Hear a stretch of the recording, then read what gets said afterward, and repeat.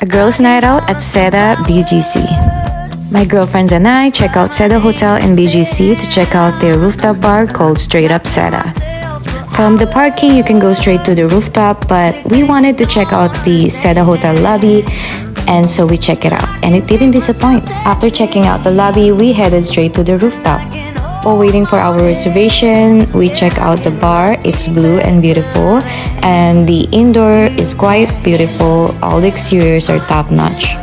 And then we headed to our table. This is what it looks like. It is so beautiful, and the weather was really perfect that night too. This is the best spot to enjoy the view of BGC.